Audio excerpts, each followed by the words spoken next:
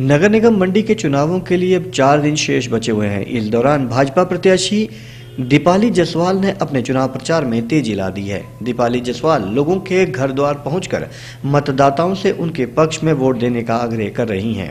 नगर निगम के चुनाव प्रचार के लिए भाजपा और कांग्रेस सहित अन्य राजनीतिक दलों ने भी टाल ठोक रखी है। नगर निगम मंडी के सभी पंद्रह वार्डों में प्रत्याशियों को जीत सुनिश्चित करने के लिए पार्टी के नेता भी डटे हुए हैं। वार्ड नंबर तेरह से भाजपा प्रत्याशी दीपाली जसवाल ने भी अपने चुनाव प्रचार को एक कदम आगे बढ़ाते हुए खुद घर घर जाकर लोगों से वोट देने की अपील की जा रही है। भाजपा प्रत्याशी ने टारना में चुनाव प्रचार किया और इस दौरान लोगों का भी उन्हें भरपूर समर्थन मिला।